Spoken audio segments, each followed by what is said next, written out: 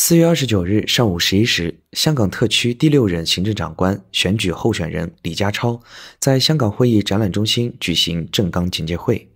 邀请来自港九新界的地区及基层代表出席。当天，李家超提出强化政府治理能力，在土地房屋供应方面提速、提效、提量，强化香港竞争力、关爱社会及重视青年发展等四方面政纲。部分香港市民在参與簡介会后，向中新社记者表示，该份政纲切实全面，涵盖了香港社会和市民生活的方方面面。无论系三大嘅施政理念，定系四大嘅施政嘅纲要咧，全部都系落实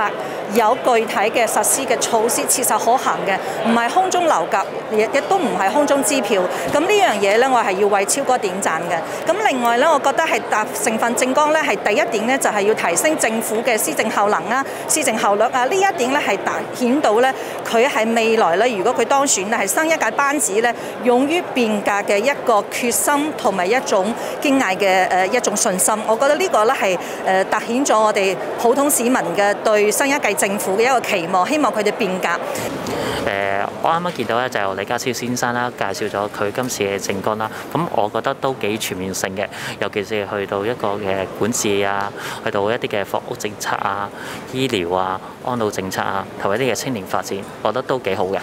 其實咧，我再關注咧就係一啲嘅醫療政策啦、安老政策啊，同埋一啲嘅青年發展，再加埋房屋政策。其實呢啲都同我哋嘅生活係都息息相關嘅。尤其是而家嘅疫情期間啦，其實我哋大家都睇到其實個誒醫療一個體制其實負荷唔到一啲嘅大型嘅疫情啊，呢方面其實呢一啲嘅醫療嘅人手都唔夠誒，都係唔係太足夠啦。咁希望加強呢方面嘅去發展啦。有市民在聽取簡介後表示，該份政綱關切市民所需及市民之所急，对此感到十分欣慰。诶，作为一个妈妈啦，咁其实咧同埋一个普通市民啦，我最关心系房屋啦、教育啦，同埋咧诶产业发展嘅，因为诶就係產業發展就系关乎到我哋誒誒工作嘅人口啦，我哋有啲咩产业可以做啦。咁另外教育方面咧，好欣喜啊！啊誒誒特首候選人咧，其實咧都提過咧要提升教師嘅專業能力啦，同埋咧誒新一代嘅一啲誒創科能力。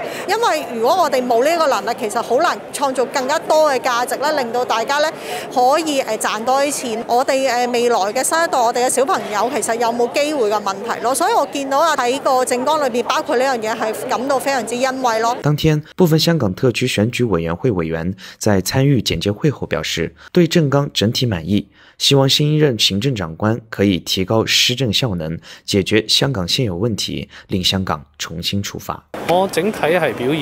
表示滿意嘅，系啦，咁啊，當然尤其係關於一啲青年發展嘅一啲政綱啦，咁啊，可以希望可以提供更加多嘅多元化嘅發展俾啲年青人啦。咁相信啊，新一屆政府喺诶、加快流程。加快土地批審批流程，加快建屋流程呢度，希望係真係可以達到預期嘅目標，令到更加多人可以置到業、上到車。早前呢，我哋連同七十三個誒、青年嘅組織咧，我哋亦都遞交咗一個建議書俾李家超先生嘅。咁我哋其中一部分呢，亦都係提到呢、這個誒誒、呃、終身終身學習啦，誒、呢、這個教育嘅培訓啦，同埋誒點樣推動香港成為呢、這個誒、創新誒嘅中心嘅。係其實可以團結到誒、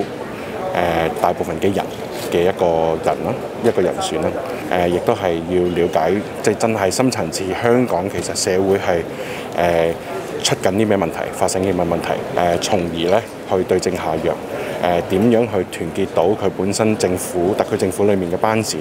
誒、即、係、希望係可以即係、通過下一屆誒、下一任嘅特首誒、可以令到誒、香港。誒可以重新誒更好咁樣去重新出發咯。